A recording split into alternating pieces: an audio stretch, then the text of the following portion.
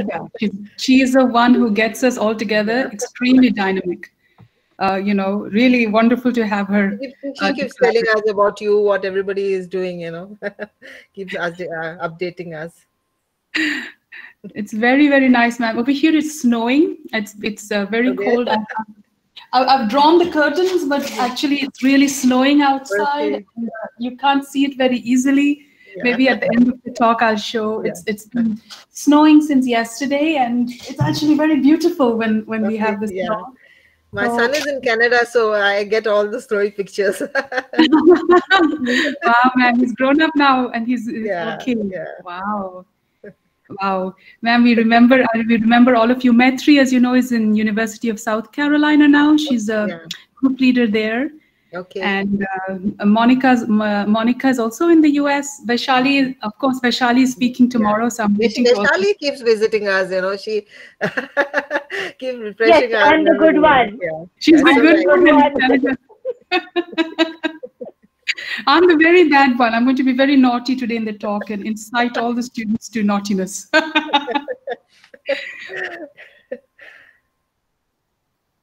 so Anita, are we um, waiting for more people to join?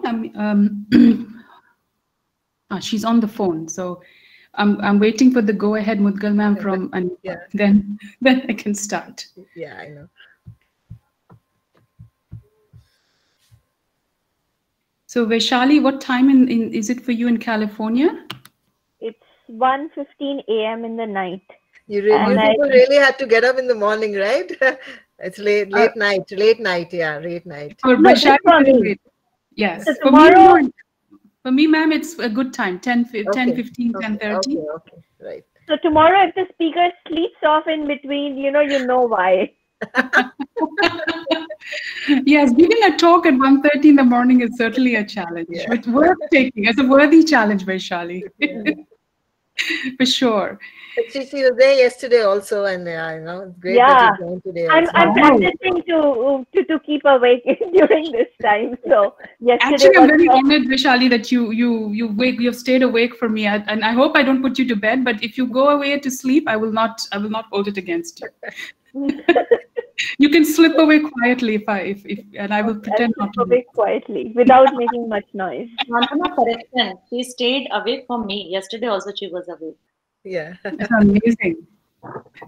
I was busy making this talk at that time. Um, Mudgal ma'am, I've taken a lot of time to make this talk. I was very Great. surprised. Anita was also surprised. She said, Sanjana, why are you taking so long? And I'm really said, looking forward, yeah.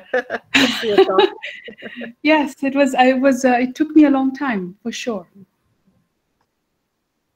Uh, we are just waiting for our principal ma'am to join and then we will begin. Our guest of honor, Dr. Vijay Lakshmi K. Gupta has joined. Uh, welcome, Gupta ma'am.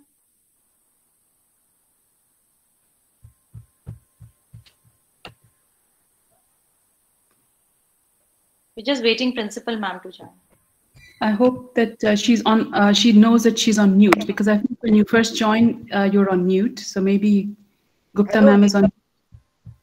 Yeah, probably, but I can see her in the meet. Yes, now.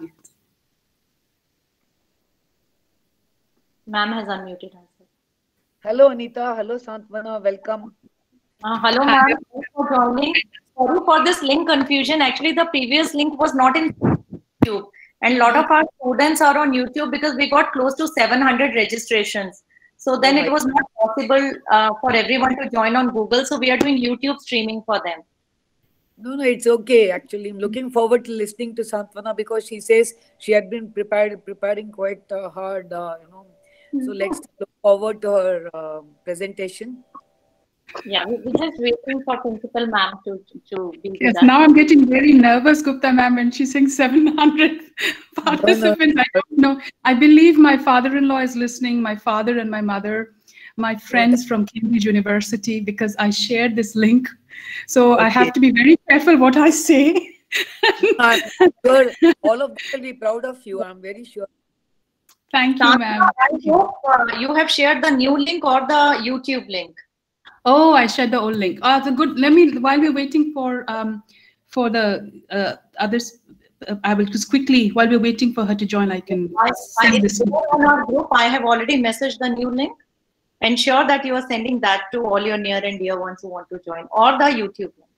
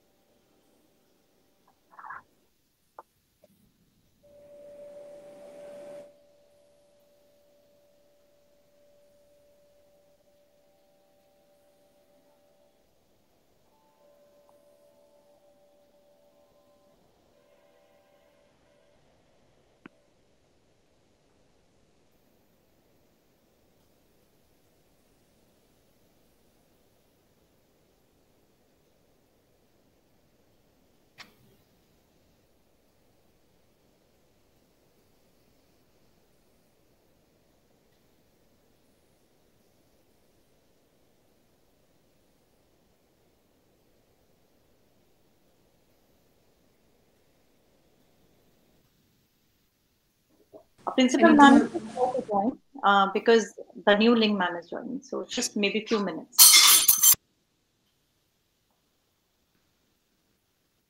I think Anita, more people are trying to be let in. Okay, now they're in. Okay, wonderful. Yeah, yeah. My cabinet will take care. I have all my friends there. So WDC cabinet, ma'am has given me an excellent team. So they'll take care.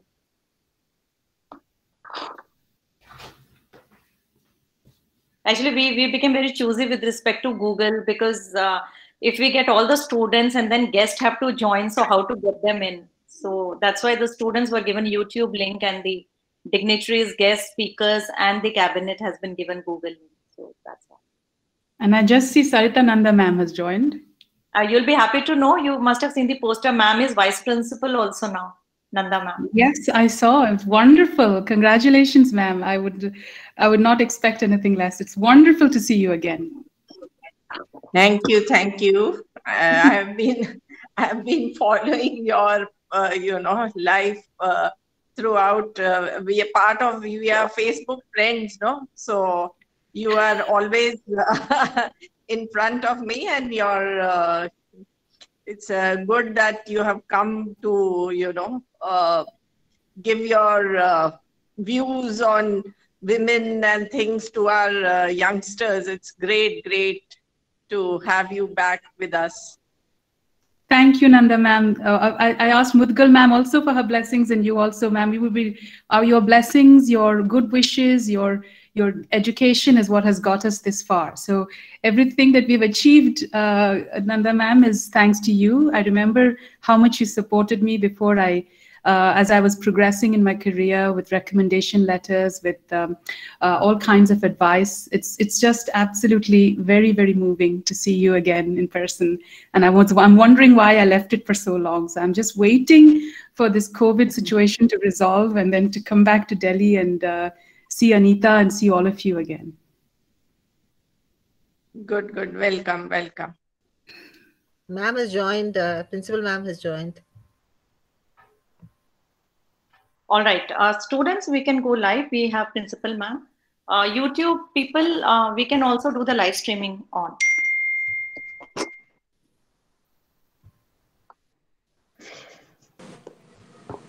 All right. Good afternoon to all.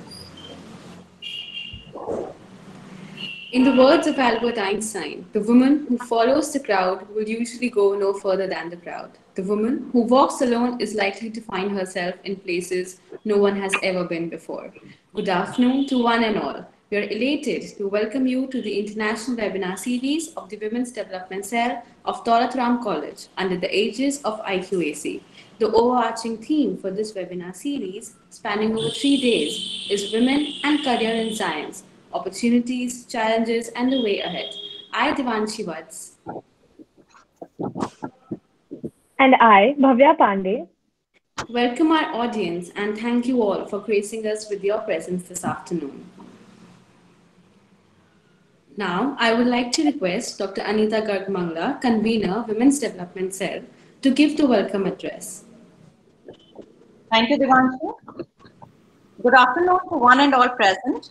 I, Dr. Anita Garg Mangla, Assistant Professor and Convener, Women's Development Cell, Daulat Ram College, takes immense pleasure in welcoming our guest of honor, Dr. Vijay Lakshmi K. Gupta, Speaker for the day, Dr. Santvana Kar, respected Principal Ma'am, Dr. Savita Roy, Vice Principal Ma'am, Dr. Sarita Nanda, all the faculty members, esteemed guests, and dear students on this second day of the three-day international webinar series on Women and Career in Science, Opportunities, Challenges, and the Way Ahead from 6 January to 8 January 2021.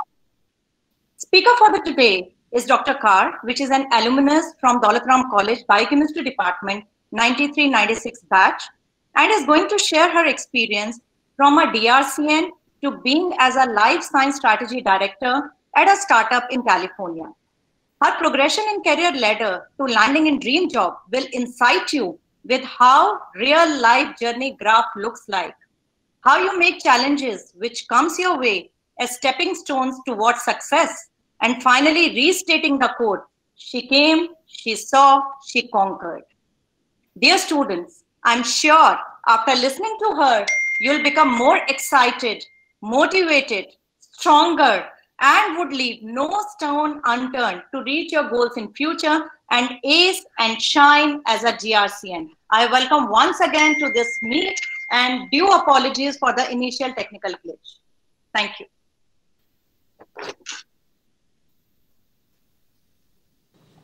Thank you so much, ma'am. We really look forward to your talk and seeing you all talking about the days that you had. It just gives me so much excitement. I would like to now begin with the felicitation ceremony. WDC DRC takes immense pleasure in extending our gratitude and regards to our guest of honor, the principal, our respected speaker for the day, our vice principal ma'am, convener ma'am, all other dignitaries, faculty members, and students for joining us today.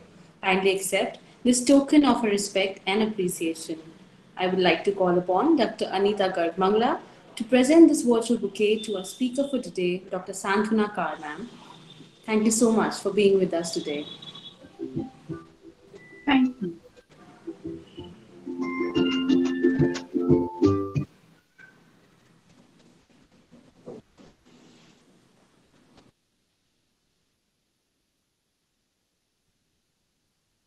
Before we begin with the program, WDC DRC would like to present to you a few glimpses of the various programs and activities undertaken under the cell throughout the year.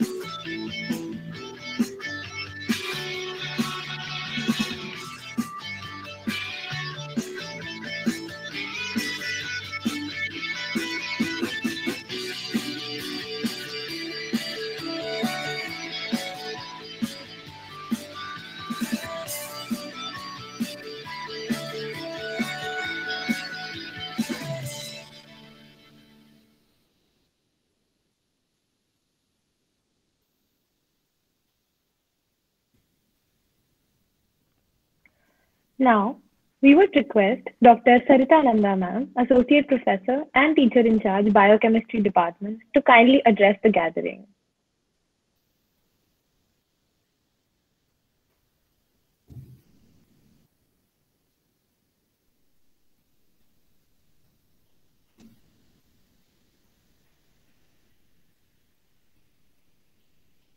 Uh, Sarita ma'am, you kindly unmute yourself, please.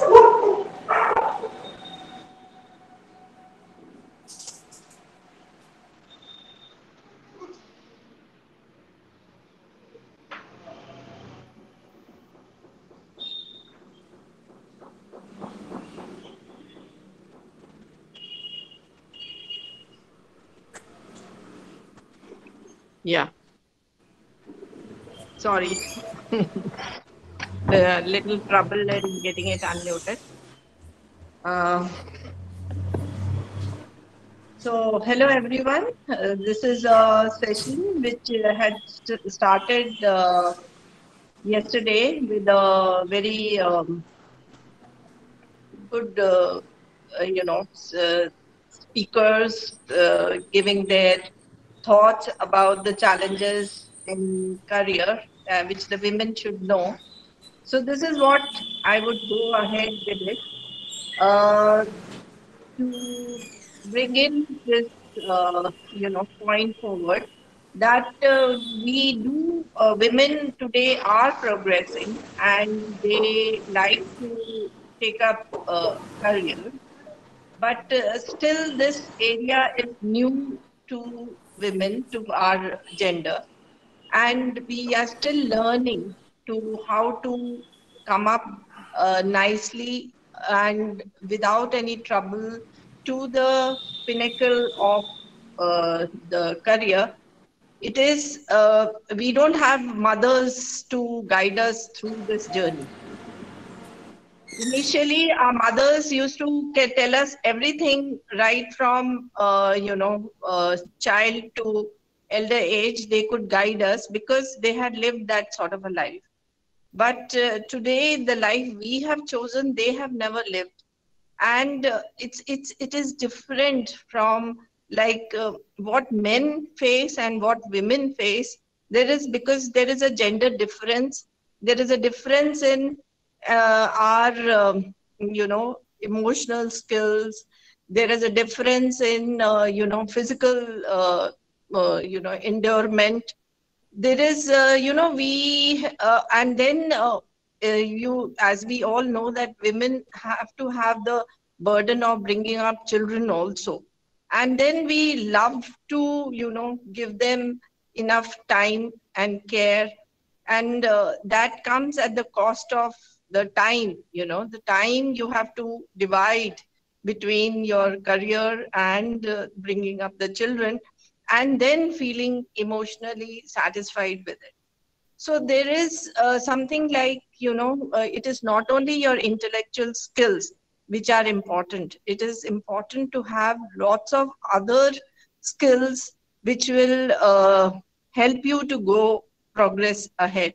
That is one is your health which is which is an utmost uh, thing of importance. If you don't have good health you will not be able to contribute either to your career or to your home. So this is and this you can only learn by you know uh, learning healthy ways of life. And that healthy ways of life is not only healthy eating it is also your emotional input. How do you balance your mind how you manage your time.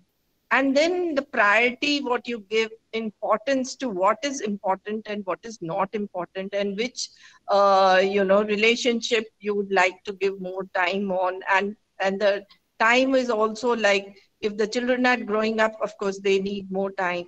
And maybe their elders and things like that. There's so many skills.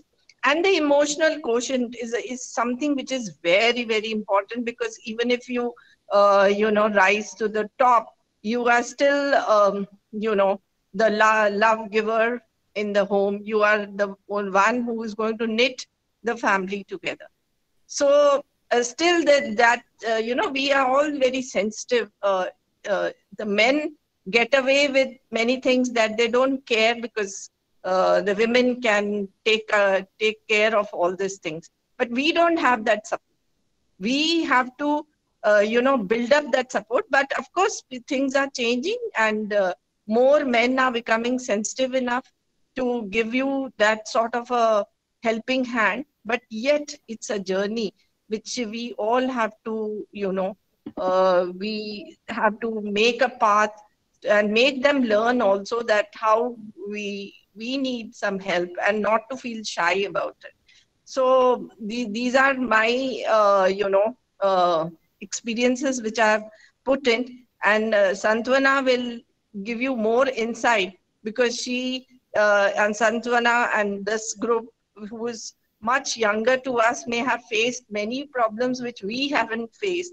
And uh, so they will help you to uh, learn many things which these people have harnessed to you know uh, give them uh, satisfaction in their career. So uh, on to uh, the the talk and thank you for calling me for inaugurating this thank you Nanda ma'am, you'll be happy to know that my whole batch, 93 to 96, is there on the meet, irrespective of the time they are. For Vaishali, it is 2 a.m. For others, because Santvana is sitting, so my entire batch is there. Oh, that that's very nice, very nice. very 9 to 6 biochemistry batch is there live now. Very good, very good, very good. That's the that's the fun of the you know media you know, the media has brought us together. Good. Ma'am, I would now like to request our principal, Dr. Savita Roy, to kindly address us. Thank you, Devanshi. And uh, yesterday was a very thought-provoking session, and I hope the same will be today. And uh, uh, as Anita said, they are all the all of them are the batchmates. I have got one more uh, request that the entire batch should be registered on the Alumina portal, which we are going to float now. So that you know you can contribute, we can interact with you, and our students will be able to benefit from your uh, whatever you have achieved in your uh, career. And a little bit of you know say smooth sailing will be there for them in case they want to you know uh, tread on your path or on uh, towards your profession you will be able to guide them properly so uh, we all of us are eagerly waiting for your uh, session and therefore i think uh, without taking much of our time i think dr Kar you can start with your this thing delivery and i will be listening to you throughout the session Please go ahead. Thank you so much. Uh, thank you so much. Um, uh, can you hear me properly? If uh, if there's any problem, please uh, let me know. I'm just putting my timer on. Santvana ma'am, uh, uh, can you please just wait for a while because I would like to introduce you to all our participants. Sure.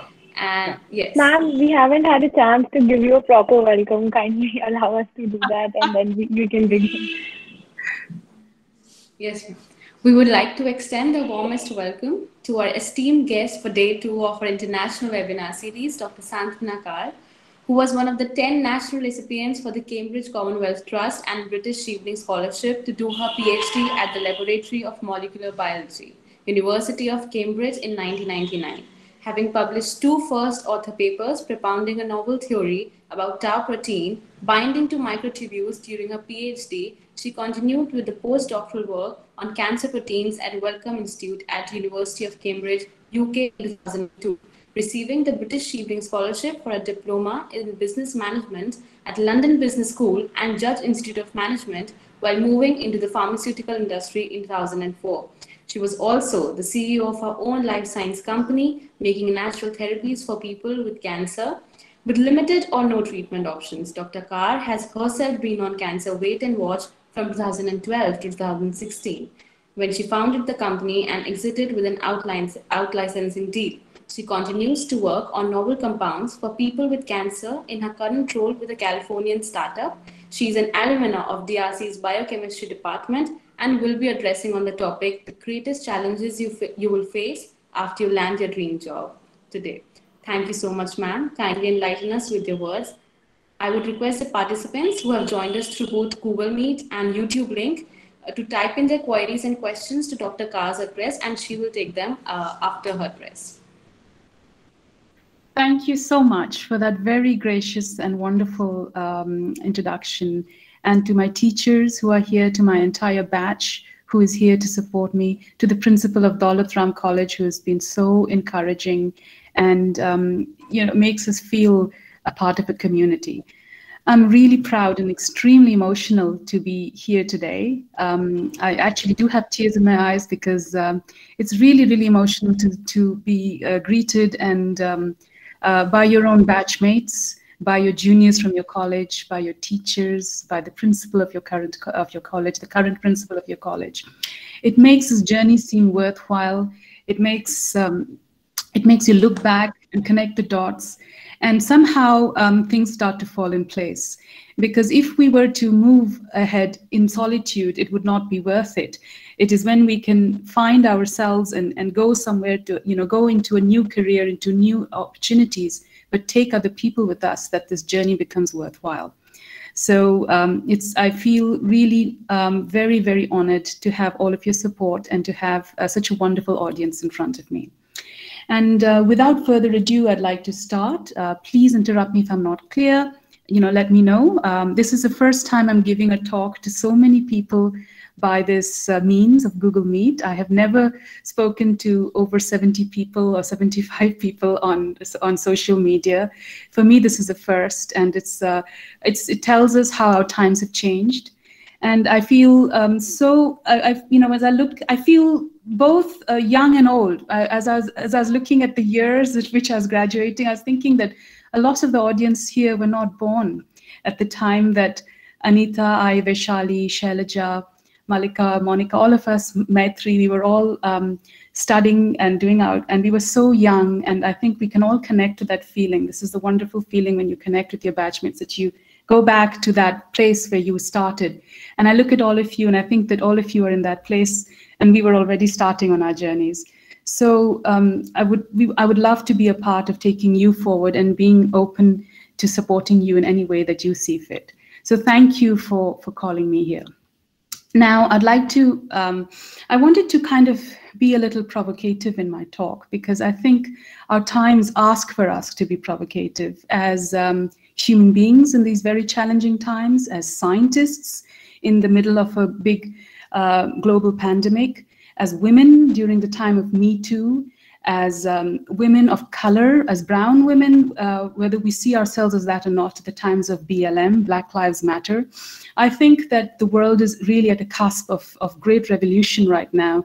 And it does require us to be provocative and to ask ourselves hard questions. So therefore, I've, I've titled my talk, The Greatest Challenge You'll Face After Landing Your Dream Job, because I feel that part of the journey in life is not getting to a place of accomplishment, but how to manage your life after you reach a place of accomplishment. Because once you you reach a certain level it's not that there's a fairy tale ends there and that uh, everything goes according to plan. It is precisely then that things start to fall apart that you are challenged that you go to places that you would never have expected to go to and that you must find resources that very often you are you are not prepared to tap into. And so i'd like to reflect on that quite honestly with you um, is my presentation being shown? Uh, because I um, have asked um, for you to show this the presentation. I will ask for the next slide. Yeah, sure. Devanshi, please get it. Yes, ma'am. Uh, Anshita, can you please uh, show ma'am's PPT? Uh, please present your screen. Yes, thank you so much. And when ma'am says next slide, kindly coordinate with her. Yeah, so I, I put on I put on how I uh, healthcare entrepreneur and author as uh, as my title because I feel that I've worked across so many areas in in life science and I've also become a writer in the time and I, I wanted to present myself to you in these two avatars really. If I go to the next slide, um, you know I've put my bio up there for you because um, I do pay respect to all the schools, all the education systems that have nourished me, including Daulat Ram College, including Nanda ma'am, Mudgal ma'am, Nirmala ma'am, Joshi ma'am, all of, you know, they were a huge part of, uh, of my education and my, also my school teachers. And this comes back to me much more today in my 40s as I look back at myself when I was 15 or, or 18 or 20. So I think this is something that you will look back to and realize the value of what you are receiving many years from hence. And um, when you look at my bio, you might think that this reflects who I am as a person. But what I would like to challenge in your thinking is that our accomplishments or our education do not actually represent who we are uh, nor the companies that we work at, uh, nor the job that we hold, but it is actually our inner values that, and once we discover that side of ourselves, we are able to truly know who we are. So that is that is one of the over uh, overreaching arcs of my story as I as I show this to you. And in fact, I have dug deep into my own uh, social media. Uh, I've looked at pictures I've taken, places I've visited, and I've used that to to show all of you because I wanted to engage with a somewhat younger crowd than I've normally spoken to. I normally speak to PhD students or, or, or you know, managers in pharmaceutical companies. And as I told Anita, this is the first time I'm engaging with um, 18 to 21 year olds across different streams.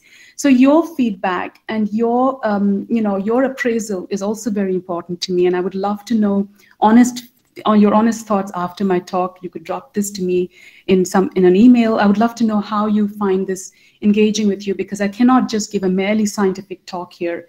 I need to give a talk that appeals to people across diverse backgrounds. So if you go to the next slide, I think that's when I start to really um, ask this question that, you know, we are a huge variety of people, and this is something that you see whether you live in India, whether you live abroad, whatever stream you are in, you in your life you come across a deep a number of people of different backgrounds and types. And often when we are young, who we are is reflected back to us in the culture and the values of the family, the society, and the country that we are born in. And we can model ourselves like Demi Moore has kind of, she looks a little bit like Mahatma Gandhi in that picture on the right, but really, you know, we know that they are completely different personalities. So um, we, you know, we can model ourselves on people, uh, on role models and uh, people that we admire. And this is a way that we start to identify our own values from the cultural or societal values that are passed down to us. So I think asking yourself who you are early on, the earlier on you ask yourself that and start to understand yourself, the better. And if you go to the next slide. I think now this is a picture from Art Basel in Basel, uh, where I live in Switzerland. And I, I really thought that it took me many years to work out who I was. Uh, when I was 18 or 19, I was very confident that I wanted to be a scientist, uh, that I was very clear about what my strengths were.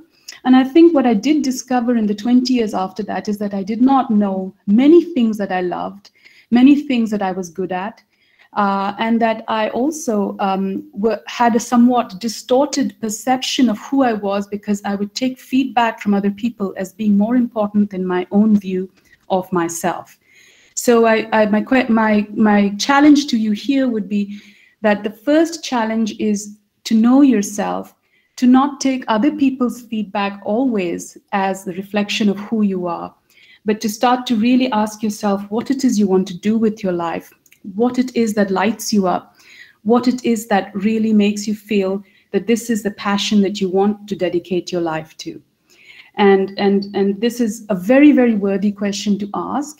And it is a question that you can keep asking yourself for your whole life because life does does not stay it's it's it's, it's in flow life is a is like a river in flow it does not stay static and therefore a decision that you take in one year might not hold for you the next year and it's being comfortable with that kind of flow and change that really you know identifies the arc of your life.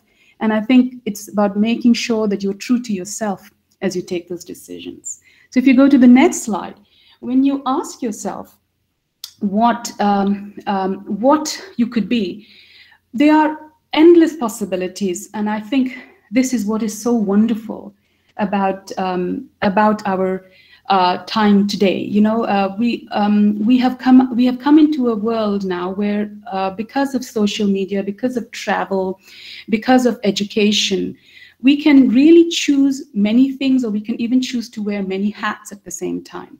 Um, I know myself from our batch that um, many of my batchmates were talented across many areas, not just science. We were all um, undergrads of biochemistry, but you know, within that, there were people who were great at writing, there were people who were great at music, there were people who wrote poetry, there were people who were amazing at cooking, there were people who were doing charity. I mean, um, just looking at my own batch, there were people who were amazing friends and uh, you know, married young and had children and were great mothers. So, so when I look at all of you, young girls starting out on your life, I don't want you to think that you need to limit yourself to choices you've already made but always think that you have a lot of potential ahead and that there's so many so many things that you can uh, you know really um, choose uh, to do and uh, to learn how to to make those choices in accordance with your with your true self. So if you go to the next slide so once we've asked ourselves this question, the challenge, the first challenge, I think, is to not be distorted by, to not have a distorted perspective of ourselves from other people, but to know ourselves and then to go out and explore. Um, explore the world um, by reading, by traveling. I know we can't travel now, but you know, um, reading diverse influences, different writers, different um, uh, genre, genres, and really, I think a part of being young and a part of being a student is, of course, doing well in the field that you have chosen, but also trying very much to interact with people from different uh, streams. So uh, I had read this somewhere that a truly great team is made of very diverse people.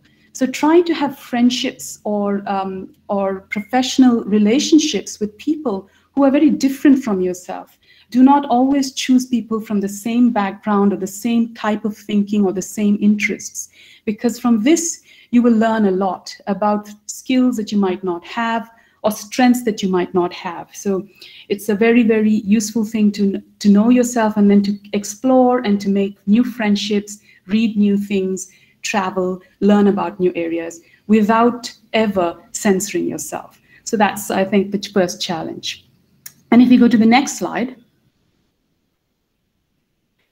I think for me, and I would like to dwell here a little bit, um, the first challenge really was about, um, uh, you know, um, being willing to go um, abroad to study for my PhD in 99. I was lucky enough to get um, a scholarship from the government of India. Um, and my DRC teachers were a big part of my support system here. They really supported my decision. And at that age, I did not know what I was taking on. I joined uh, the lab of Linda Amos. Um, you can see her on the left in the wheelchair, the lady with white hair, um, at the University of Cambridge. And this is this photo is taken in 2002, just about the time that I was about to finish my PhD. And um, we were a very diverse set of people in the lab. And when I joined um, MRC Lab of Molecular Biology, I was not aware of the weight of what I was going to carry because the LMB is the lab with the most number of Nobel laureates in the world. It has about 20 or 21 Nobel laureates as of now. By the time I joined it, there were already 14 Nobel laureates. And Linda Amos, my uh, PhD guide, was one of the brightest, most amazing human beings that I've ever met in my life. And uh, before I came to Cambridge, I did not know that she had multiple sclerosis. By a perfect twist of fate, I became an expert in multiple sclerosis at Novartis when I was working in my corporate career there in uh, many years later in 2009, which is why I came to Basel in Switzerland when I was offered this job. I moved from London to, to Switzerland for this job. And I became an expert in multiple sclerosis. And as a young student then, I did not realize exactly what Linda was going through because um, even if you're a scientist, you cannot understand this until you actually almost live or, or, walk that journey yourself. So you cannot really understand an illness or a disease, if uh, which was my passion. My passion to work in science was because I really wanted to work with people in disease and to solve problems there. That was the whole reason I wanted to do a PhD. And yet, when I look back and reflect on this, I don't think I understood multiple sclerosis. uh, Linda was an absolute expert in cryo-electron microscopy, and I was the last student that she taught this very complex uh, biophysical method. And um, um, she is she's she's still alive, but she was slowly losing the you know the ability to move her hands and legs. So I was the last person she could teach.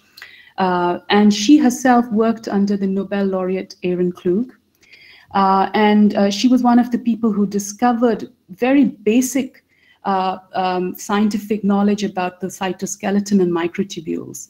So again, when I went to work with her, I was not aware of how um, lucky I was to work with someone like her, who was not only a brilliant scientist, but also a very good human being.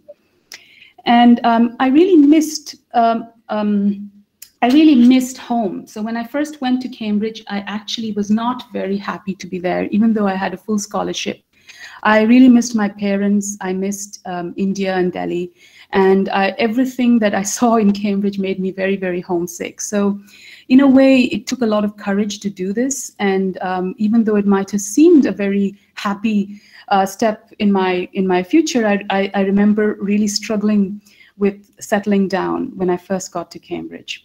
And um, if we go to the next slide, um, I actually started to work very diligently as I had been taught, as I had uh, learned. Um, uh, I think uh, if I've lost someone, uh, could we go to the next slide? Uh,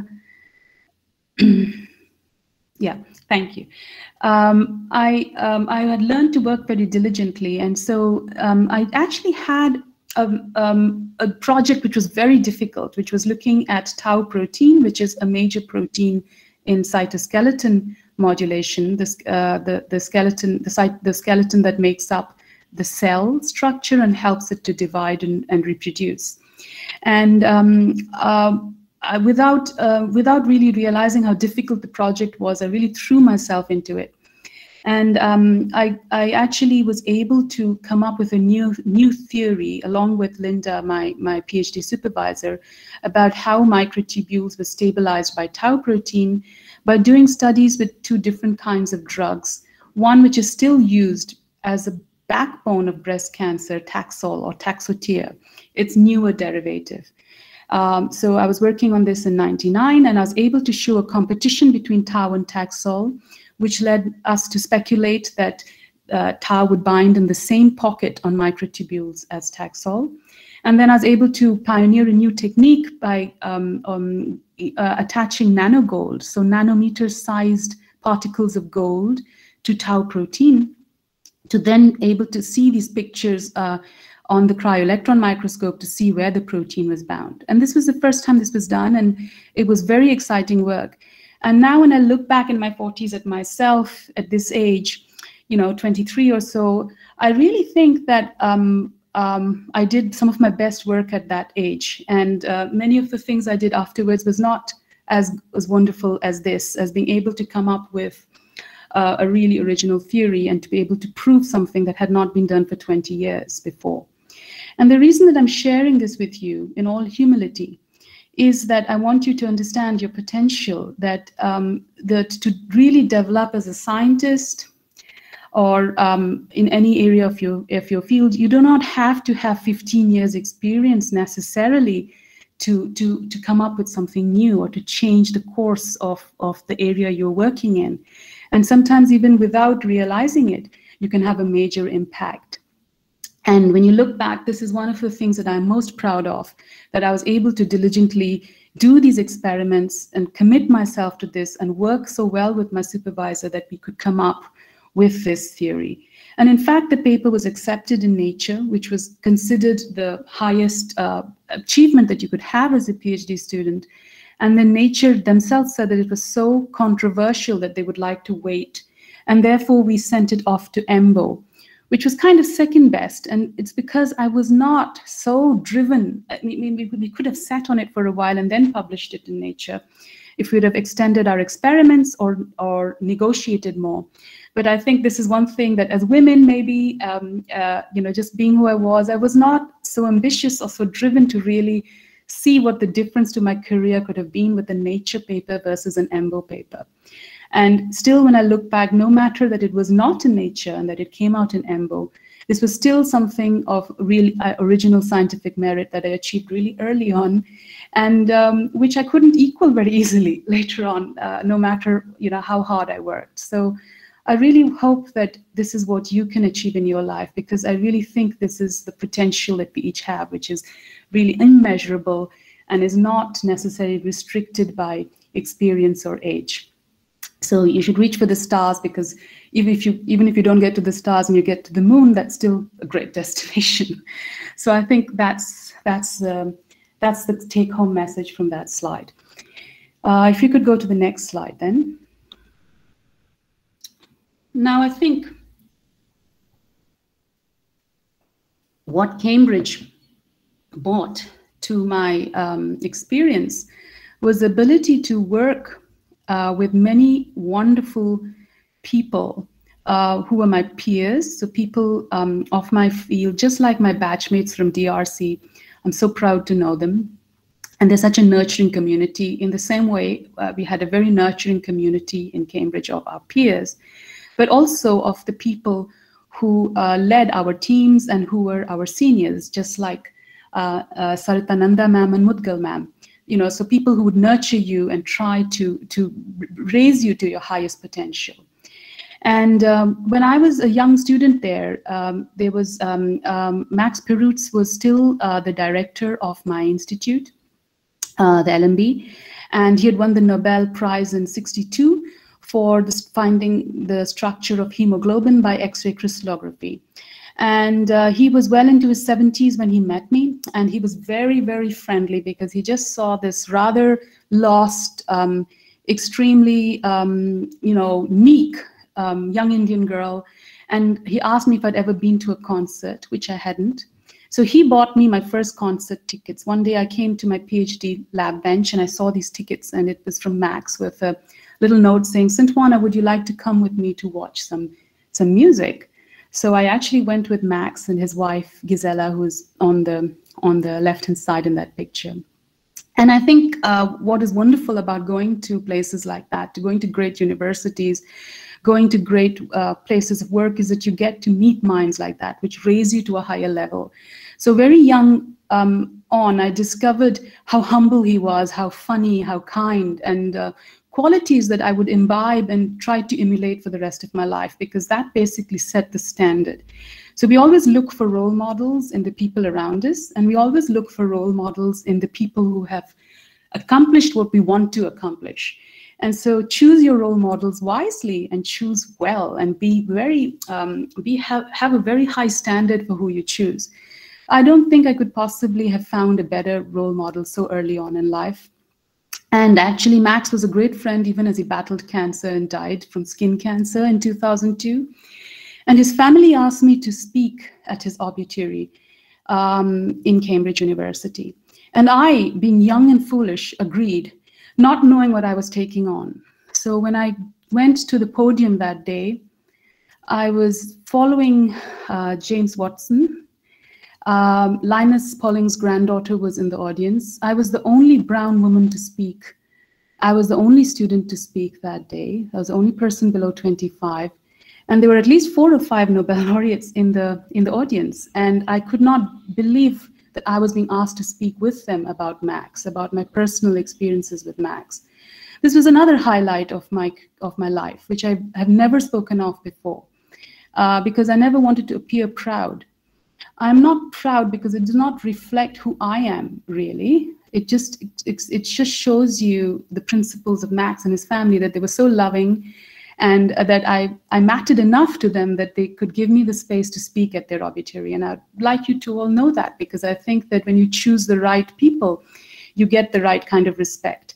And it was really one of the most heart-stopping moments of my life. I remember walking up to the stage and seeing Jim Watson James Watson sitting in the front row and feeling that I would fall, trip over my shoes and fall on the stage and somehow making it to the stage and, you know, and speaking. And I, to, to date, I do not remember what I said.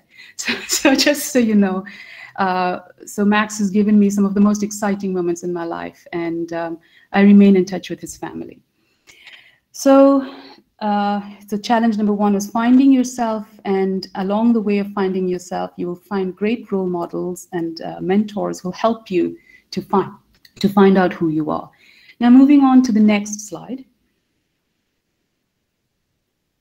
Now this slide um, is about staying true to yourself to your roots. So i was very far from home. I was in a, a very wonderful university and um, I still knew very much how much I loved India and how much I loved home. Uh, these pictures that you see I, were taken in 2015 when I had gone to Orissa, where my parents now live. And my mother took me to the small village of um, artists that live close to uh, Bhubaneswar, which is the capital of Orissa and where my parents live. And each home in this village is an artist's home. Every person in this family, every each family is blessed with at least one artist and so they paint and it's a very poor village and they paint and as you can see these are the ordinary houses there. I've never seen more beautiful houses really than than what i than what i saw um, you know um, at, at this um, at this um, uh, village. And um, I remember buying a painting from um, one of the the people that you can see, uh, you know, the man who's got the uh, the painting, um, you know, up um, uh, the, who I saw at a distance and whom I came up to walk, uh, whom I walked up to and asked what he was painting. He had a picture from the Ramayana that he was painting, and I myself have um, read a lot of mythology. I've been very interested in as an academic. I had read, you know, the Bhagavad Gita, and I felt I knew, you know, the Ramayana and the Mahabharata. And uh, when he and when I asked him, you know, it was a scene from the Ramayana, and he started to chant the verse in original Sanskrit with absolute um, passion and fervor, you know, with this wonderful love for for for for Lord Ram and for what he was painting. And I remember that my eyes filled up because um, it was so humbling to watch someone who was so gifted and so centered, and it taught me a lot about my country and about the fact that, that they had so much of devotion despite the difficult situations they were in, and that they painted because this is what they thought God had asked them to do, and that they did it without thinking about reward or recognition. So for me, this was a big lesson, and I, I really find that every time I come back to India, uh, my heart lifts up, and I always find something to inspire me and teach me um, about myself. So I'm very clear to myself that um, being, uh, you know, contributing to India and being Indian is a large part of my ethos. And this is something that I would, I will never let go of, no matter how long I live in another country. I've now lived more than 20 years out of India, but I just feel that it's very important to tell you that I discovered this um, not in my 20s, but more in my 30s, where it became very clear to me. And uh, just to say, because um, the next slide, um, at that time I had already moved into working in pharma. So after after publishing those two papers and uh, I'd moved across into market research and covering the pharmaceutical industry because I was a little frustrated with how long it took to uh, publishing uh, scientific facts. And um, if I could look back and advise my younger self, I'd have asked myself to hang on a little longer and to have probably moved into a lab in the US and, uh, you know, worked harder because it's really nice if you have an original theory when you're in your early 20s. However, when I, uh, you know, um, I had moved on and I moved into pharma, which had a very different approach to, uh, to disease. And um, um, I started to collaborate with the editor of Nature Drug Discovery to talk. Um, I have over 15 uh, publications uh, talking about cutting edge um, pipeline drugs. And the paper that I'm most proud of is the one that I co wrote, co authored with my father. Um, called Control of Malaria, which came out in 2010 in Nature Drug Discovery, because my father has been working on malaria since the late 70s. And, uh, you know, he's, um, he's a very passionate scientist and he has taught me many of the principles with which I live by. And it was really a kind of coming of age that I was old enough to actually sit down with my father and write a paper with him. I cannot explain the emotions, but I have a feeling that you will understand. It was really, really the paper I'm most proud of. Uh, so happy and so proud to see my name next to his in a scientific journal. So I think um, the challenge is always to understand your passion and your roots and to stay true to that. So this, this kind of summarizes that. Then if we go to the next, um, to the next slide, please. Uh, so this, this slide is what I would call, you know, the googly slide or the unexpected slide. Um, life will throw you challenges, and I think the real challenges in your life are not the ones you predict. It's not about failing an exam or being fired uh, at your job or um, having, um, you know, breaking up a relationship with a loved one. Uh, these are huge challenges. I'm not saying uh, that they are not. Um, uh, in fact, I've had all of these experiences. But I would say that the biggest challenge is the unexpected. It is uh, what you hadn't foreseen, the kind of challenge that comes up to you from behind, which in, within seconds changes your life, and um, and and really changes you as a person and makes you have to dig really deep to face the challenge. So for me, uh, it was a wonderful blessing to to become pregnant and to have my daughter, Maya, who was born in 2011. And uh, because uh, Nanda ma'am um, also touched down on it, I did fall very se seriously ill when, uh, when my daughter was born. And uh, at the time of her birth, I was diagnosed with a very rare tumor type um, and was given three months to live. And uh, this for me was the most humbling and, um, and um, enriching experience. I can see enriching now. You see, I would, it, uh, but even at that time, I was very calm. And so by having this experience, um, I had, there had no sickness in the family before. I had learned to take care of family members whom I deeply loved. Um, so I had experienced this before, but it was really, it really pushed the challenge much higher when I was living in a foreign country. I did not have any family nearby other than my husband. And my daughter came early she was three weeks early, so we hadn't prepared for it. And then I got this diagnosis uh, within five days of her birth. And uh, it really taught me a lot about myself. It was, a, um, and in a way, I think that, so it's exactly what I was saying, that you, you cannot predict or foresee this challenge, and then it tells you who you are. And essentially, um, it, it really made me dig deeper into my spiritual roots to find uh, calmness and composure and healing from spiritual uh, ways of life and I started to follow um, a more holistic approach to health that completely changed me as a person. Before, I'd been very much a scientist who believed mainly in um, drugs being able to stop uh, a disease. And then I found out for the first time, I'd read so much about cancer and written reports, and I'd worked on Taxol, and that I really didn't know what it felt like to be told that there was no treatment, that you had three months to live, that they would have to have a surgery uh, and that I found my soul saying I could not have surgery, and I actually never had a surgery, uh, you know, after that because um, I um, actually tried to heal myself um, with functional medicine, and so I learned a lot about. So in this way, I learned a lot about a completely new aspect of healthcare, which is when you're in a situation where there is no treatment, what do you do? And from this was born the desire of, um, of founding a company that would um, so I could not go back to work with Novartis because I was too ill. So I took some time to recover. And then I actually co-founded um, a natural care company, a healthcare company, where we made, um, uh, we had a pipeline of drugs and a leading natural product um, of uh, which which was uh, basically we used a patented uh, method to to make it very highly bioavailable, where we worked with uh, people with cancer with limited or no treatment options. So over the span of about four or five years, I earned very little money, as I would find out as an entrepreneur, you often do.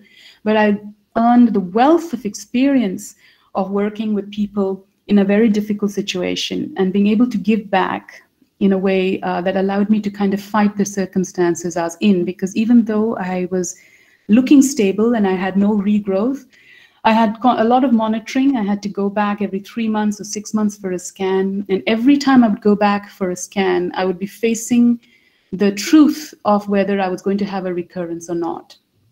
And all the time while having this very adorable child with me. So this was something that taught me a lot about the human condition.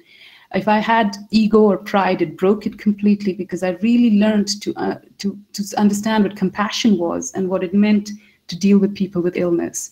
And so to work, to continue to work in healthcare, we need more people with great compassion, people who do not think about profit, who do not think about prestige, who do not think about whether their papers are in, uh, you know, in nature or in journals, but are really thinking of making a difference. And often you cannot think like that unless you've suffered yourself. So suffering by itself might seem scary, but I think is the greatest transformation. So sometimes when you go through an unexpected challenge, accept it as a gift from God that this is a, a, chance and an opportunity to truly transform yourself and to let go of old habits and old ways of thinking. And I think that's uh, that's the message that came through that. And if you go to the next slide, parenthood will teach you many things. Um, if, if you could go to the next slide, please. Um, I don't know if it's frozen. Uh, oh, yes, uh, I think we've jumped now. So if you could go back one to the unexpected baker, the, the previous, yes. So I think parenthood will teach you many things. And it'll teach you that you want to give the best you want to your child and um, everything that you had and much more. Uh, you know, I think that's how nearly all of us who are parents will tell you, whether we are mothers or fathers. I think this, this is irrespective of gender. And uh, because I couldn't work for some time, and because I was used to big challenges, I decided to challenge myself with cakes. So, you know, the cake on the top um, is the first cake, you know, I was making for my daughter's birthday, which was a checkered cake. So, you know, it required making two different kinds of cake and piling them up and cutting them, and then so that they would have that brown and white striation. And from that, I, I every year for my daughter, I would make the best cake that I could make myself at home. And I ended up making this Barbie cake for her that you see, you know, which took me four or five hours, uh, seven hours perhaps to bake. Uh, with you know all the jewelry intact, a Bollywood dancer no less, and um, as a, it was not merely an act of love. Clearly, there was a lot of love in it, but I think it's it came from recognizing myself and knowing that what I really liked was a great challenge.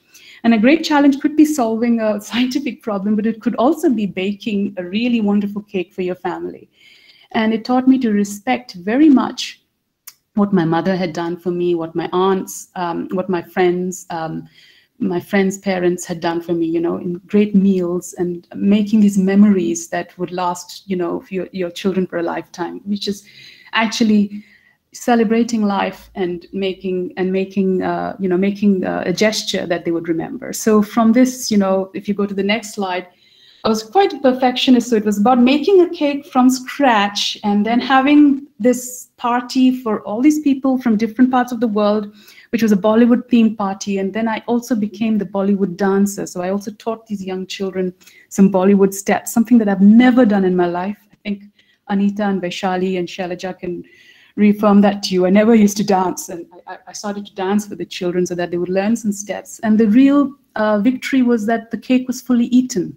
The proof of the pudding is in its eating. And so I think this was something that, you know, I learned from, from, uh, from this experience that uh, you could publish a paper, but uh, you can, you know, baking a cake can also be a very, very valuable challenge. And uh, for me, this was extremely satisfying and nurturing as well. So I just want you to reflect on that because um, it's really important to not only think of um, uh, professional credentials, a professional acknowledgement as being the highest fruit, but also looking at um, keeping your family safe and happy and healthy and making time for the big anniversaries and events in their life no matter how busy your schedule. So I think that was that's something that I wanted to bring by, home to you um, from this slide.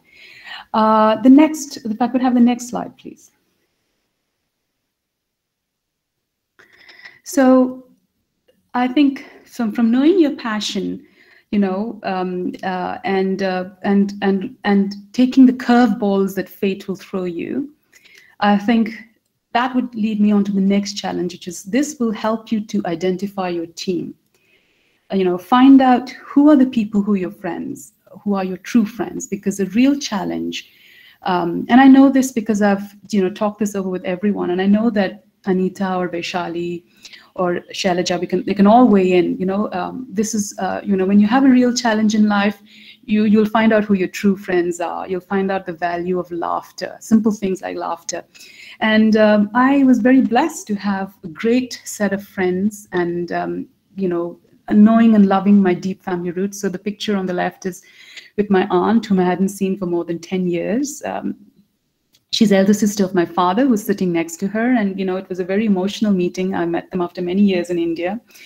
And on the right are several of my friends who have really loved me, you know, whether or not I had good health, whether or not I had a job, whether or not I was successful.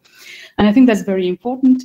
Uh, you can actually see one of our alumni, Maitri Swaminathan, in the picture where we are both competing for the sandwich, which was in New York. So Maitri was taking me around New York. She's now a group leader in in um, in South Carolina, and um, I, am I'm, I'm so enriched that we have these friendships which are over 20 years old. Um, and uh, so I would say that know your team and try to find out the people that you can rely on as early on in life as you can, the people that you can laugh with, um, you know, the people that you can admit your failures to, because uh, we are never going to get through life without failing. And I think it's really important to say this because uh, people are often only allowed to speak when they're successful. We are not allowed to, um, and in a very male-dominated world, as, as Ananda Man said, and the corporate world is even more male-dominated. The academic world has still got some strong female uh, leaders, but the corporate world has very few strong female leaders.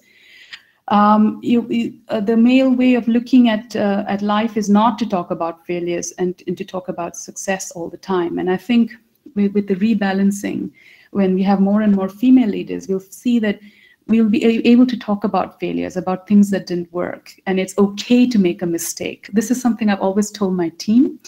And I have to say that my team used to perform very well when we had this ideology, as opposed to when I would say that you only had to be successful. So I think to make a good team, you you need to uh, you know you need to really uh, know who they are. And um, so just to go to the next slide and to kind of summarize you know that that that challenge about knowing your team uh, what you will find out is, so this is a picture of me and Maya in, in Vienna in Austria in 2016. Uh, my husband had to travel at that time, and so um, I, I, needed to go to the ENC Neurosciences conference in Austria for Johnson & Johnson, for whom I was working for as a senior director then.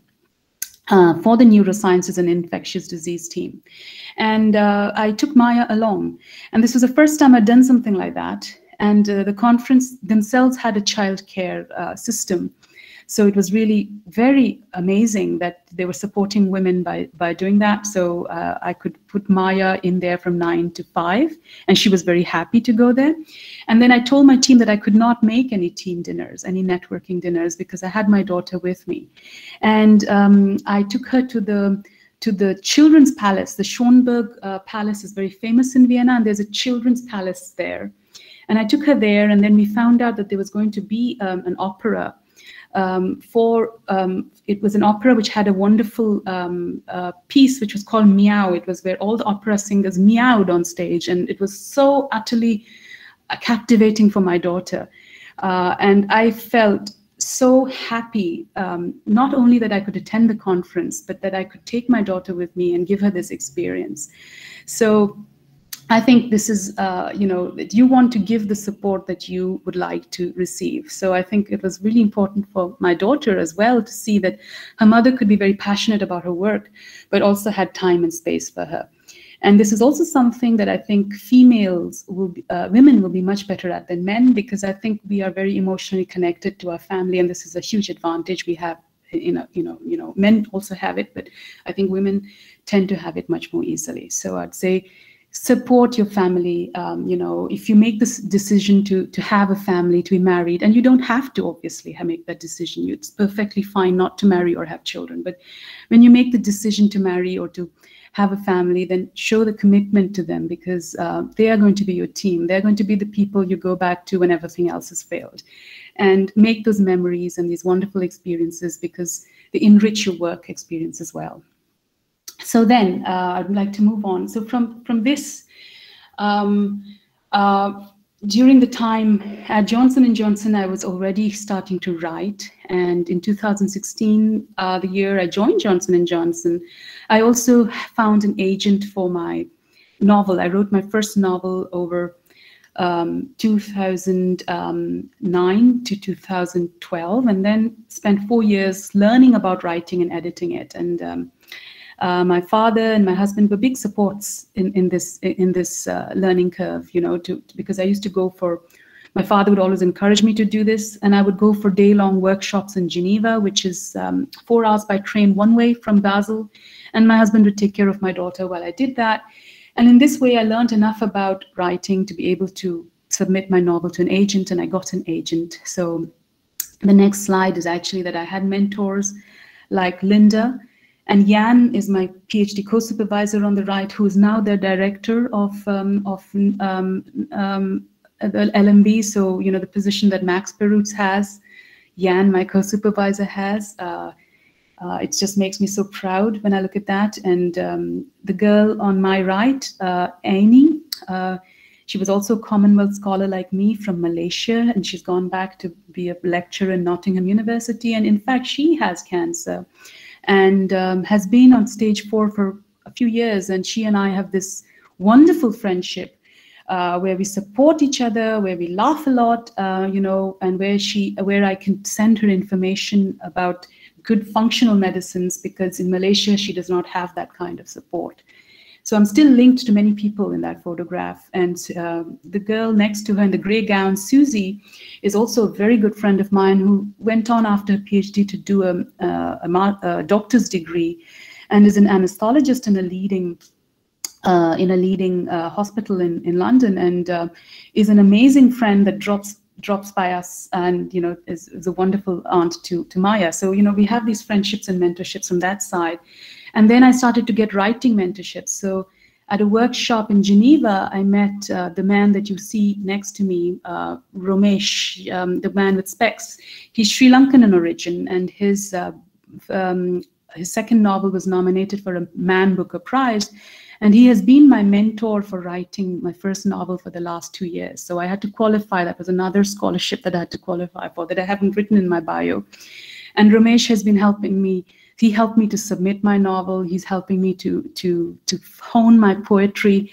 So i think what is very very important as a part of your learning curve is having great men- mentors good role models and realizing too that you are a role model. So as women in your position who are studying undergrads in such a wonderful place like uh, delhi university you are a role model to the young girl um, who's in your who's a neighbor and so on so you know uh, you not only do you uh, find good mentors but you yourself become a mentor or a role model for people and you and that is how i think it's important to carry yourself if you truly want to live um, an, an an enriched life. So uh, I was very happy to have Romesh as my as my mentor. And then if we go to the next slide, um, uh, in 2019 I came back to India um, I came back to India to go to the Jaipur Literary Festival. I only had time for that, for one week of that, because I had so much work that I couldn't stay for more than one week. And at the Jaipur Literary Festival, I met Yann uh, Martel, the author of Life of Pi. That's the picture that you see to the bottom right is him. Um, I met Mahesh Vinayakram, who is a wonderful musician. That's the person you see on the on the top right. And his father, Vikku Vinayakram, who is um, one of the most famous musicians we have, who won a Grammy Award and a Padma Shri in India. And um, and uh, I basically, you know, have uh, made uh, Mahesh, Mahesh is, is a friend, and uh, Tripti Pandey is also a writer. Uh, she's the younger uh, sister of Ila Arun, the singer. And Tripti, Tripti ji was releasing a book, which I bought, and she became a very dear friend as well. And uh, I ran into Yann Martel at the airport as I was flying out from Jaipur back to, to Switzerland. And I'm always very sad when I'm leaving India. And it was a wonderful thing to see him. And I went up to him and said, I loved his book, his latest book, which was Beatrice. Uh, and um, Beatrice um, and Virgil, and uh, we and then he he uh, I said that I'm writing my first novel too, and uh, Yann Martel said I wish you the best for your novel, and for me those words meant a lot because they came from someone as accomplished as he is, because I'd heard him speak at the Jaipur Literary Festival, and he's a wonderful speaker and a wonderful human being who really loves India a lot. So as, as you as you continue on your path, you'll see that you'll find more and more mentors and more and more experiences that are very enriching, and uh, that's what I would like to you know show you as a kind of way of um, of feeling uh, you know what is the what are the what is the goal it's just it's there's no end but as you go along the way your experiences are extremely pleasant if you go to the next slide um, and i'm coming now to the end of my talk um, so if you could go to the next slide, please. Uh, the challenge, uh, which is the last challenge I'll talk about, which is the fairy tale. So I'd like to kind of tell you a little story at the end of this talk, uh, which is based on a really funny book I found a few a couple of years ago called The Trouble with Women. It's written by a woman called Jacky Fleming. And I brought it up as a way of provocation because Anita had sent in the talk, uh, you know, the talk summary and this whole talk is about women and showing women their potential and dis- and uh, finding role models and uh, hearing from women who have made who are pioneers in their field and obviously um, anita who is herself uh, such a wonderful colleague to have uh, had described marie curie and rosalind franklin um, and um, uh, when I looked at that, I felt a little cynical because I myself know how much uh, bullying Rosalind Franklin received from James Watson and Francis Crick, and that she was never granted the Nobel Prize because she died. It's not given posthumously, but uh, it, it's kind of known. It's a, it's a, it, and it's a story that's also told in the Double Helix, as written by James Watson that they actually uh, took the pictures of X-ray crystallography um, that Rosalind Franklin had taken of the DNA helix without a permission and used that to interpret and get their Nobel Prize.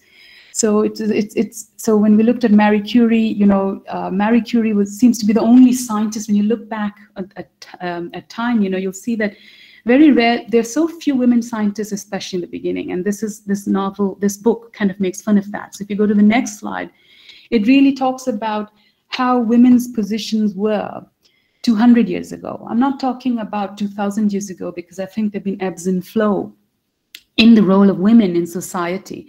But 200 years ago, we were kind of aligned to the domestic sphere.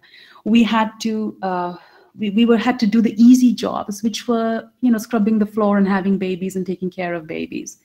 And as a mother myself, I would say, and I'm sure that there are so many people in this um, uh, social room, uh, networking room, that will agree with me that motherhood is indeed the most difficult job of all, much more difficult than going to a board meeting. And, uh, and there's very little credit given for that.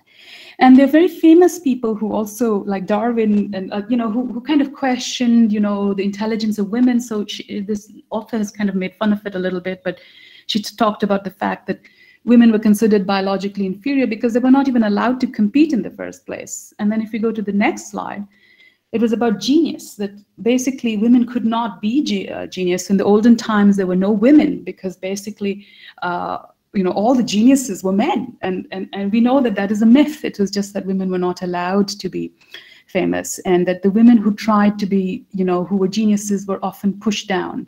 So, uh, you know, uh, there's a famous philosopher here who also said that, and this is a bit of a joke, but, you know, he's, he's he basically, the and it, it was really questioned whether women had the ability or the scientific or intellectual acumen to achieve the same as men. And this was a very popular theory till not too long ago. So I think I want you to reflect on that because where we are today is a position of great privilege and we still have a long way to go, but we have come a very long way. So if you go to the next slide,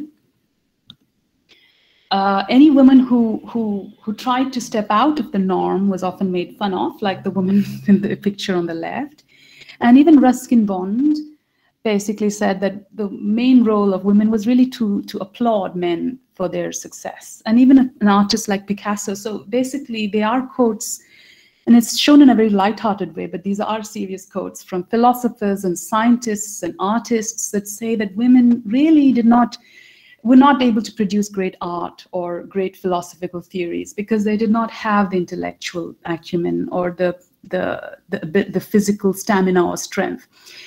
And this is something that we must remember because this is still something that is coming up as a repeat theme even today. And uh, therefore, we must appreciate our privilege and we must think about how we continue that, uh, to pass on that privilege.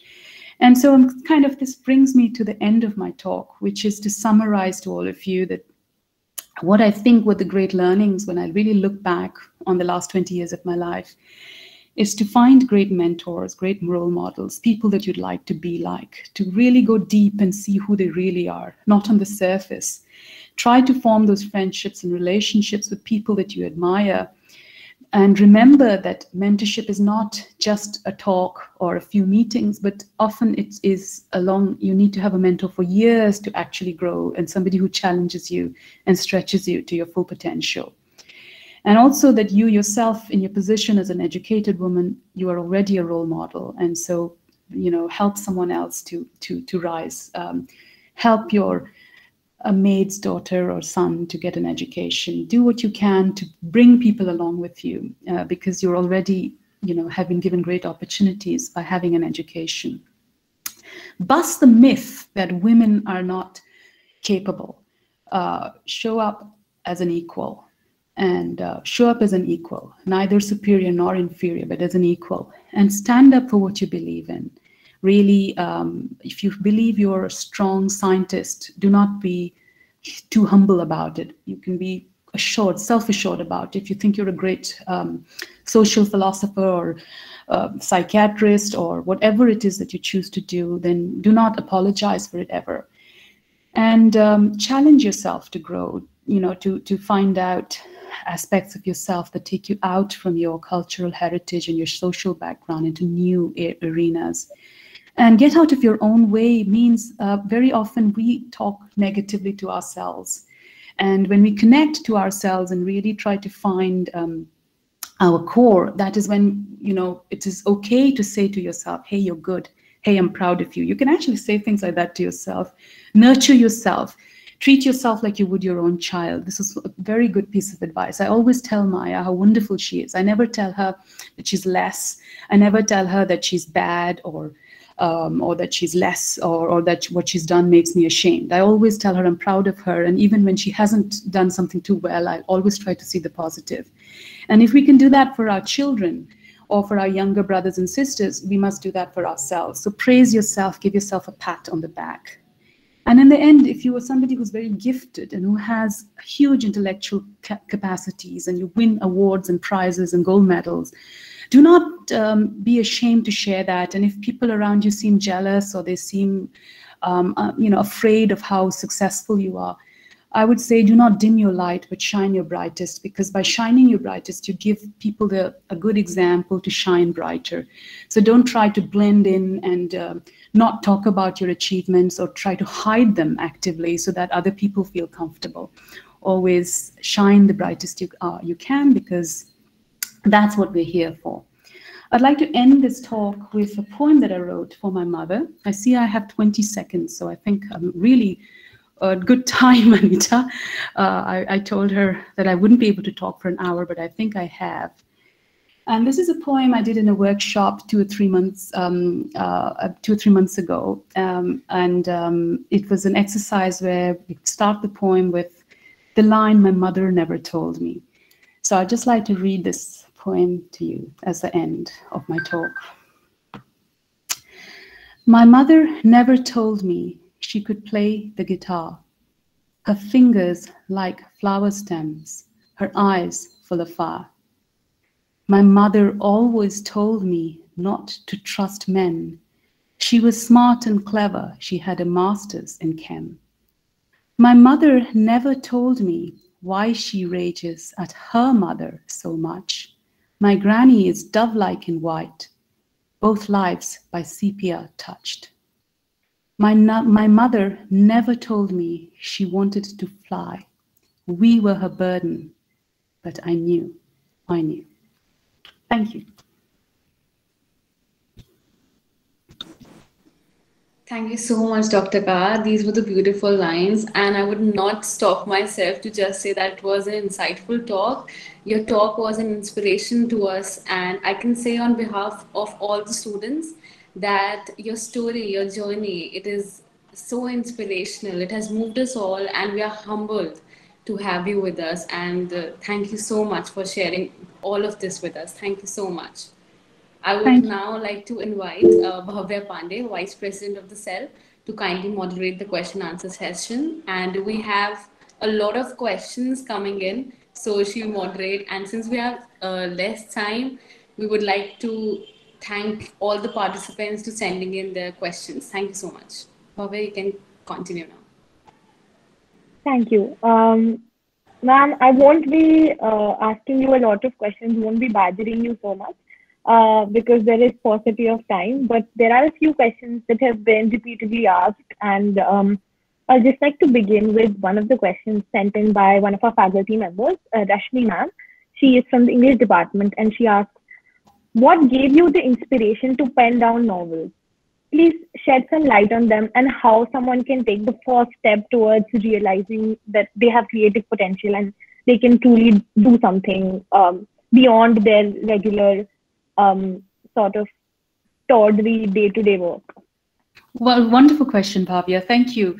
Uh, I have to say, I feel so happy when I see all of you that I just really, really wish COVID wasn't there and we could all have had a meal together after this talk when I could have just leaned back. Thank you for that wonderful question. I think that we are all artists, and especially as children, we are very connected to that. And this is where the question of distortion comes in, that we're often told to, you know, find a job that pays the bills um, or to fulfill sometimes our own parents' uh, unexpected, uh, uh, unfulfilled expectations. So if they hadn't done something, they want you to do it, you know, for them. Bete, kiya, to tum dikhana, and all that kind of thing. So, you know, we, we, we, and when we're young, we, we kind of without thinking straight, we think that this is what um, we, we should do. You know, we'll do what our parents tell us or what our friends tell us we're good at. But if then when we're really connected to ourselves, I think nearly every person I've talked to has an artistic capability, whether it's singing or music or cooking or designing, they have some form of artistic ability. And often that artistic ability is a direct connection back to your soul. And that's why it's really important because it's not through the mind. It's not through the mind and, and the intellect and scientific rigor is often through the mind. It also can be through the soul, but it's often through the mind. Carl Jung is a great psychiatrist who also connected to himself through his soul, while Freud is a great uh, psychiatrist who connected mainly through his mind. And when I read both their works, I do not really appreciate Freud's as much as I appreciate Carl Jung's. So, um, you know, Stephen Hawking did not believe in God, but came up with the beautiful theory of black holes. So you can achieve huge success with your with your mind but when you connect also to your soul then you know it's a lot of fun it's playtime. And and a lot of life has to be about playtime. What tells us that we need to be serious all the time and you know to to be successful we we don't smile and we always carry ourselves with great seriousness. So i think when i felt really ill i asked myself what did i regret? Because i was actually being asked to you know, I, I, knew that I was being asked to consider the fact that I didn't have very long to live. And when I looked at my life, I said, you know, I'm okay you know, I've had a good life. I've traveled a lot. I've studied. I haven't done anything horribly wrong. I haven't murdered anyone yet. You know, I've even given birth to a little uh, daughter. And I appreciate these things. And if God wants this, I'm okay with this. But what do I regret? I regretted not finishing my novel. And so I started to write even when I was ill. And as I wrote, I seemed to get a longer and longer lifeline. And maybe God said, Oh, you know, maybe she should write a little bit more. In a funny way, I kind of felt that I was being given a lifeline because I was connecting to my soul. And I decided never to let that connection go again. So um, I continued to write. And then um, I thought I could never write poetry because poetry is very raw, it's very there is no excuse, there's no hiding behind lengthy sentences. And so a few months ago with the Corona thing and, you know, uh, all of us got found it very challenging and I was finding it too. And then one of my friends was doing this workshop and when I went for it and then she challenged me to write something on my mother, my mother has not heard this poem, but my mother has been such a major influence in my life. And so, you know, this poem came out in five minutes and I thought, wow, you know, something really complex that I've had in my head you know, my mother was a great pioneer in her family, you know, the only person who had a master's in that day and age. As Nanda ma'am said, you know, that our mothers had very different lives than us. And so she had that, but she gave it all up to have us. And so I really respect and love my mother, and, and that poem came out. So if you can get that in five minutes, you know, why not? Go for it. Right, right. So that makes sense. The biggest takeaway is to look for your soul food. I think. I think that that would be it. Thank you. Uh, I would just take a second to read out a few comments uh, from faculty members who they've left such nice things uh, about your talk in the chat box.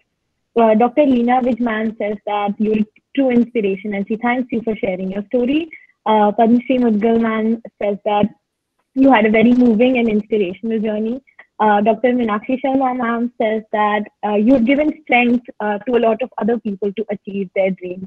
And I think that summarizes all of our thoughts uh, quite aptly.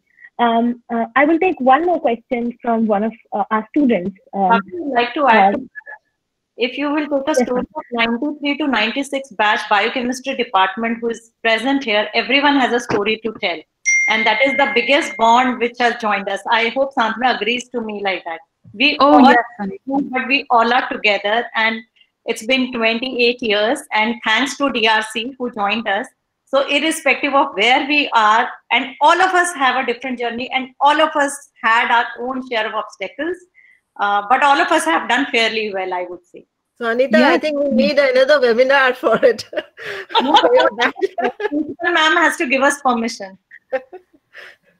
So we really like to hear your stories. You know, really, I think Santvana, it was amazing, amazing, and really moving. I was really moved by your story. And uh, No, ma'am, also tomorrow is Vaishali, then Shalaja has something to tell, Malika has, Monica has, Maitri has. All of us have reached somewhere uh, by God's grace, but we all have gone through a, a Mm. bit of challenge and obstacles, all of us. Yes, then- Anita, that's a huge, that's a very important, that's a very important thing that Anita is saying that all our journeys are valid, all our journeys are valuable. Nobody is ahead and nobody is behind. You know, uh, as I've, uh, Anita and I have shared our personal stories with, uh, you know, with my three with so many of my friends, um, I just carry these as my uh, armor you know like uh, it gives you a lot of courage um, when you hear the authentic stories of your friends you know what they've overcome. Uh, so for me that's why it's a very personal story to all of you. It's not something that i would share on a public platform into this level or depth but i would like you to know it because it becomes more personal when you have that connection and each story is amazing. And i'm learning so much from anita you know it's so amazing how our conversations are so enriching today because we are both learning a lot about natural foods and health uh, health systems and it's just so enjoyable to talk with Anita even today we have so much to learn from each other Thank you. That's really nice to hear, ma'am. I'll just take one more question from one of our students, um, Anupriya. Uh, she asks that, what do you think is the most significant barrier to female leadership? And a similar question by Achal asks, what, what will be the biggest challenge for the generation of women behind you who want to follow your steps? Essentially, students like us who are just starting out, we're sort of in the middle. We're not too privileged. We're not too uh, too much burdened with responsibilities. So, what do you what do you think that the, the biggest challenge can be for them, and how they should be having that sort of an open mind uh, while while they tackle such challenges? What a wonderful question, Bhavya. When I see all of you, Anita, I feel so proud because I feel that uh, this generation is five steps ahead of us. You're so eloquent, so um, so present. I just feel so proud of you. I feel, you know, you're you're the age of my daughter. Like you could be my daughter, and they're they're so intelligent. You're so it's wonderful to see this. So I would say that you're already five steps ahead of where we were when we were your age, and I think, and I'm quoting Michelle Obama here um, who is one of my inspirational role models. And I would advise all of you to go listen to her podcasts on Spotify if you can, uh, because she addresses this issue. The biggest hurdle in your path is yourself. It's not anyone else. It's not anyone else's perception. It's what you think you can achieve and what you give yourself permission to achieve. If you decide that you want to be the first um, or the second female prime minister of India, you can do that uh, it's it's it's what you give yourself permission to do. I think the biggest the hurdle in our path is our own our own negative self-talk when we say we can't do this, or we're not determined enough or and de- dedicated enough. When you make a commitment to do something, you're going to have to do the hard work and the discipline. There isn't a way around that. You can pray, uh, you could have devotion. Maybe that would make your path easier, but you still have to put in the discipline and hard work. And I'd say that the, the, the talk that you do to yourself, your inner talk, is what is really crucial to driving you, to giving you focus, to giving you determination. So when you sit down and make a plan and you think that this is what you want to achieve, don't let anyone talk you out of that. Don't let anyone tell you you're not good enough or that uh, it's not done by girls or it's not done in this society or this is not possible because no one else has done it whatever it is that you think your dream is, once you have that dream and you kind of assess that you think you are able to do it, then do not let anyone talk you out of it and stick to the path. It might take you a bit longer than you expected, but you'll get there. Thank you so much, ma'am. I think that answered some of my own questions and a few inhibitions that they do creep up sometimes. So that I will I will tie this in a knot and I'm going to keep this with myself. Thank you. Uh, I would now ask Devanshi to please take over uh, for the rest of the segment. Thank you so much, Bhavya. Uh, WDCDRC, no, uh, sorry, apologies. I would now like to request Dr. Sarita Nanda ma'am, teacher in charge and associate professor, biochemistry department, to share her views on today's session.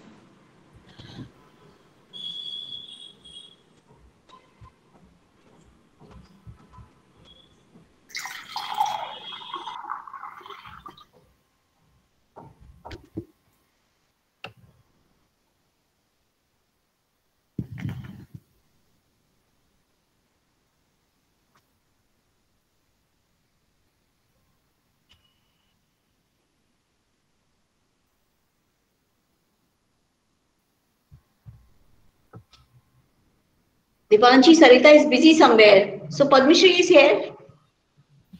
Yeah. Yes, ma'am. Yeah. Padmashri, please. Yeah.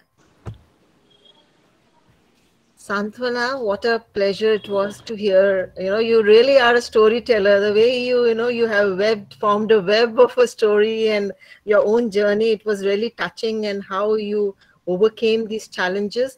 I think uh, what could be a better role model than you? I think the present students, uh, uh, you know, it's really inspirational and motivation how you, you know, overcome the challenges and found uh, new milestones and reached new milestones and what is uh, you know i don't think you've left anything untouched you know. You are uh, you are a poet you are a novelist you are a scientist you know i don't know what other milestones you have uh, you know created for yourself to uh, achieve more and more and i really would love to sorry uh, we love to be and i know why we didn't keep in touch and uh, and all other batchmates, uh, uh, Vaishali has been with us, has been coming over the years to Delhi, and whenever she comes, she visits us. So we hope that whenever you are coming next time, you know, we can have a live, uh, uh live uh, interaction with you, and the students can really gain from your experience. And I think what you have achieved, um, it's almost like a dream story, you know, with um, how uh, overcome one overcomes the challenges and reaches where you have reached. And we're really proud of you. And I think Sarita has joined in. She'd like to add into what I have said. uh, really, I'm really proud of you, Santvana, and uh, wish you Thank all you. the best. All the best in life. Thank you, ma'am. Thank you.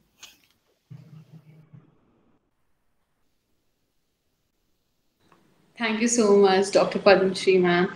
I'm so, uh, my mind is really boggled right now. I have so many things to say, and I'm so inspired. And all of the, all of the students that are here, they're just inspired by your story.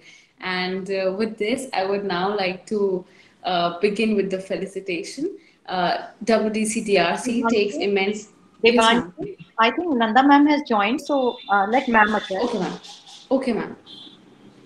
Uh, I would request the technical team to stop presenting now, and I would also request Dr. Sarita Nanda, teacher in charge and associate professor, biochemistry department, and also a vice principal, to kindly address the session and the session. Mute yourself.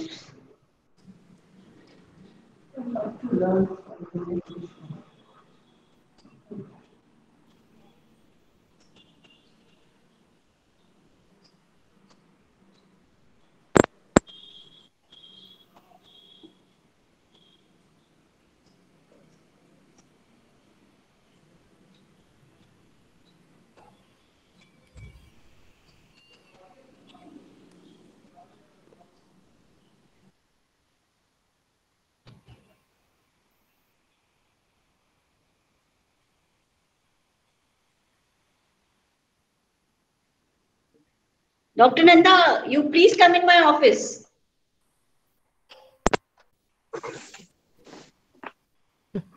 She's in the adjacent room, you know. Oh, it- some some technical problem. Maybe some uh, network problem. Okay, okay. Uh, you have got another teacher of chemistry department also.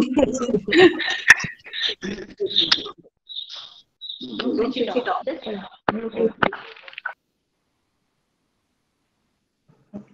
You, uh, you have got another teacher of chemistry department. If you can recognize, please take off your mask. Can you come closer a little bit? She must have taught you chemistry. If you are uh, classmate of Anita, then uh, Yes, yes, inorganic and yes, indeed. do you recollect my name? Let me No, ma'am, no, ma'am, I do not. I'm try. Brain from you say. I have taught you physical chemistry. Yes, Yes, ma'am. I I remember physical chemistry. I remember it very well. Ask Anita, she will tell you my name. Ma'am, we all remember, ma'am. How can we forget our physical chemistry? Chemistry department. So she was also here with me listening to you. So Dr. Nanda is here now. Dr. Nanda, please take over. We teachers will proud of you. Good. Keep going. Thank you.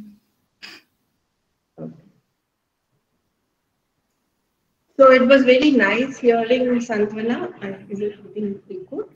Yeah, you can, you speak from here. Speaker se bolo. Se bolo. हाँ so it was very nice uh, to hear from Santvana. The best thing I've liked about Santvana, because I've also her Facebook friend, so I've been following her, uh, you know, uh, for so, several years. And what I liked about is her resilience. You know, after uh, this is one great thing that if you are uh, you are high in career and you have some health issues, and then uh, you go through the lower, I mean, the ups and downs you go through with great, uh, you know, strength. And then you recover and come back with the impact. That is something which is, you know, which everybody of us have to learn from each other, that how we can uh, have that sort of a strength. And as she said that it was uh, spiritually, she got awakened and uh, you know, and she got into, so it's not only the intellectual upliftment or uh, the growth which is important, but then, you know, the multi-dimensional uh, growth, which is very, very important, that you give back to the society something which, you know, gives you the strength to be more strong. And uh, when you get that appreciation from the community, you do much better. So this is a challenge which we all face, and uh, Santvana is a live uh, example. Like she's with her lifestyle, and then uh, you know that is what she said that initially, like uh, she wanted her publications. If she had publications in Nature, it would have helped her. This is what it is that we should know what we want to achieve and have the patience to achieve that. So it was. Uh, very good example that you have given. And then many of us, you know, can achieve greater heights, but we don't know what is the, you know, what is good for us, and uh, we don't have the patience. So thank you, Santvana, and we like to hear more from you and interact when you come to India. Thank you. Thank you, ma'am. Uh, ma'am, I can just see that uh, Dr. Mudgal ma'am has pressed on the raised hand icon. Do you want to add something? It was just by mistake. It was by mistake. Okay, ma'am. Okay, ma'am. I thought you wanted to add something. yeah. It was a real pleasure. It was a real pleasure listening to you, Santvana, really.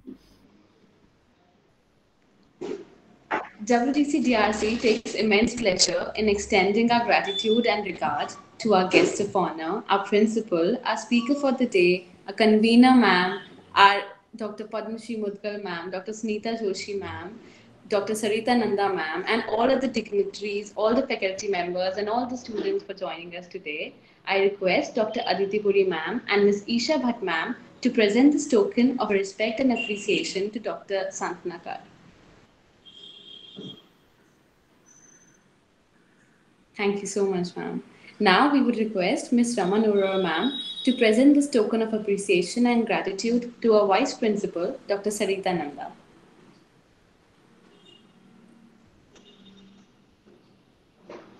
Thank you so much. Now, I would like to request Dr. Anita Garg Mangla to kindly deliver the vote of thanks. Thank you, Devanshi. Uh, good evening, one and all present.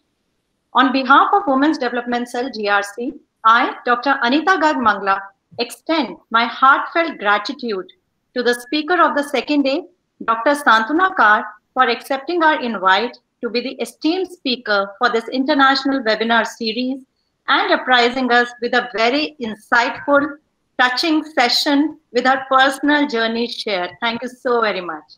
Also, I would like to thank Dr. Sarita Nanda for critical sharing of her views about the talk and Dr. Vijay Lakshmi K. Gupta, guest of honor, for sparing her valuable time to grace the occasion with her kind presence.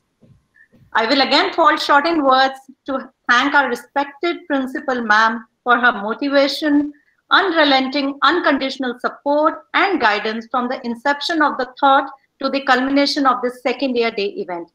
Ma'am, it's your faith in us which inspire us to do more and reach new heights. Thank you for being there for WDC always.